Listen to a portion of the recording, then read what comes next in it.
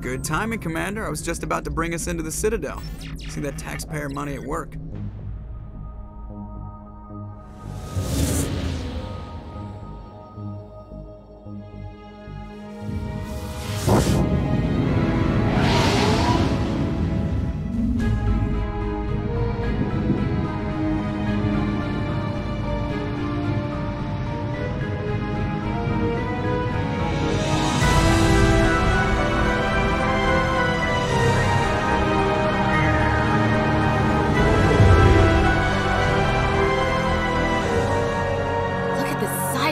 Ship.